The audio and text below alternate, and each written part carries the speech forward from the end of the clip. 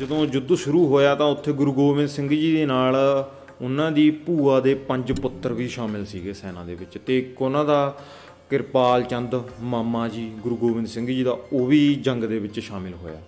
ਤਾਂ ਉੱਥੇ ਪੂਰਾ ਕਮਸਾਨ ਦਾ ਯੁੱਧ ਹੋਇਆ ਪੂਰਾ ਤੇ ਗੁਰੂ ਗੋਬਿੰਦ ਸਿੰਘ ਜੀ ਦੀ ਸੈਨਾ ਨੇ ਪਹਾੜੀ ਰਾਜਿਆਂ ਦੇ ਛੱਕੇ ਛੜਾਤੇ ਉਹਨਾਂ ਨੂੰ ਭੱਜਣ ਨੂੰ ਥਾਂ ਨਹੀਂ ਥਾਂ ਨਹੀਂ ਲੱਭਿਆ ਹੈਗਾ।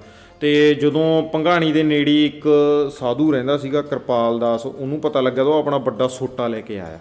ਉਹ ਜਿਹਦੇ ਮਾਰਿਆ ਕਰੇ ਸਿਰ ਖੋਲ ਕਰੇ, ਜਿਹਦੇ ਮਾਰਿਆ ਕਰੇ ਸਿਰ ਖੋਲ ਕਰੇ, ਐਵੇਂ ਇੱਕ ਹੋਰ ਹਲਵਾਈ ਸੀਗਾ, ਉਹ ਆਪਣਾ ਖੁਰਚਣਾ ਲੈ ਕੇ ਆਇਆ। ਤੇ ਹੋਰ ਵੀ ਕਈ ਲੋਕ ਤੇ ਕਿ ਜਿਨ੍ਹਾਂ ਨੂੰ ਘਰੋਂ ਜੋ ਵੀ ਹਥਿਆਰ ਮਿਲਿਆ, ਉਹ ਲੈ ਕੇ ਆ ਕੇ ਗੁਰੂ ਗੋਬਿੰਦ ਸਿੰਘ ਜੀ ਦੇ ਨਾਲ ਆ ਕੇ ਲੜੇ ਉਹ। ਅਖੀਰ ਦੇ ਵਿੱਚ ਪੰਘਾਣੀ ਦੀ ਲੜਾਈ ਗੁਰੂ ਗੋਬਿੰਦ ਸਿੰਘ ਜੀ ਨੇ ਜਿੱਤ ਲਈ।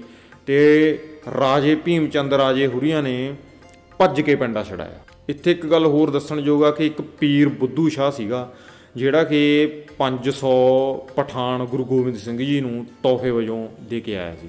ਤੇ ਉਹ ਪਠਾਨ ਸੀਗੇ ਜਿਹੜੇ ਇੱਥੇ ਗਦਾਰੀ ਕਰ ਗਏ ਤੇ ਉਹ ਰਾਜਿਆਂ ਦੇ ਨਾਲ ਮਿਲ ਗਏ ਸੀਗੇ ਜਾ ਕੇ।